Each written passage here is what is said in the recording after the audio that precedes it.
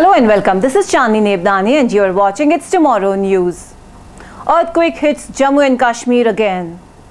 Jammu and Kashmir in India woke up on Tuesday morning with the tremors of the earthquake. There were two earthquakes. The first one was a mild tremor at 7 am while the second one was felt for a maximum of 10 seconds. The epicenter has been found in Tajikistan which felt an earthquake of a 6.8 Richter scale. The epicenter of the earthquake is said to be 300 kilometers for Dushanbe, the capital of Tajikistan. This was the fifth earthquake in Jammu and Kashmir since yesterday.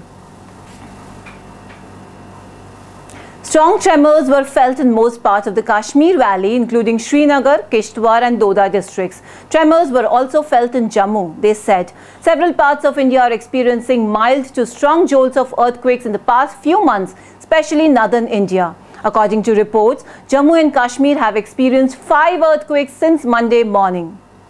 In our expert comment today, we have with us our expert Ms. Bhumi Vora. The question for her is, what is an earthquake and ma'am, how it occurs?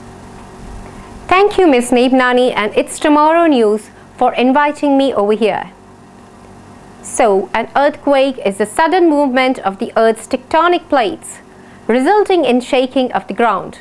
It is the result of a sudden release of stored energy in the Earth's crust that creates seismic waves. At the Earth's surface, earthquakes may manifest themselves by a shaking or displacement of the ground. Sometimes they cause tsunamis which may lead to loss of life and destruction of property. There are generally four different types of earthquakes tectonic, volcanic, collapse, and explosion. Thank you. Three mild earthquakes were felt on Monday in Jammu and Kashmir with a magnitude of 3.5 Richter scale. An earthquake of 5.5 magnitude was felt in Gujarat on Sunday, but no casualties were reported. 3.9 magnitude quake hit 14 kilometers north of Srinagar in Jammu and Kashmir at 8.16 local time on 9th of June. On 8th of June, a low-intensity earthquake of magnitude 2.1 hit Delhi according to NCS.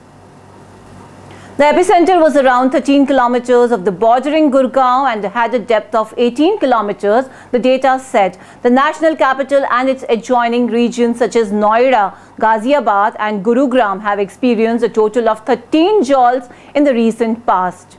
That's all for now. For more news updates, stay tuned with us. It's Tomorrow News, Chandni Nebhnani.